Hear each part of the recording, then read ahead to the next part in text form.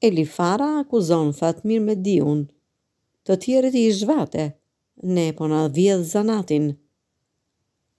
Këngëtarja e njohur, Eli Fara ka reaguar ashpër ndaj politikanit Fatmir Mediu pas një fotografie të publikuar në media e rrjete sociale. Kryetari i Partisë Republikane dhe deputeti i PD-së shfaqej duke kënduar, me pozim prej këngëtari profesionist dhe me fansa të shumtë. Kalimi i deputetit Fatmir Mediu nga sektori i politikës dhe demontim trafikimit të municioneve në sektorin e muzikës liriko-popullore ka krijuar shqetësim për këngëtaren Fara, duke e quajtur rrezik vjedhjeje edhe të biznesit të këngës nga fara e keqe e politikanëve.